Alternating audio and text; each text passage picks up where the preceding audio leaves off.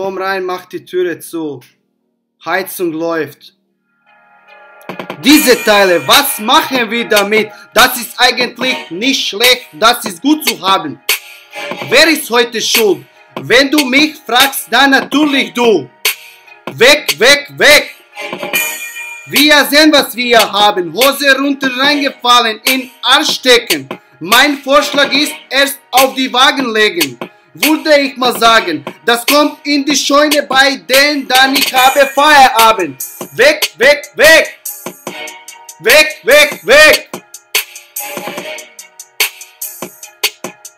Okay, am das Ding.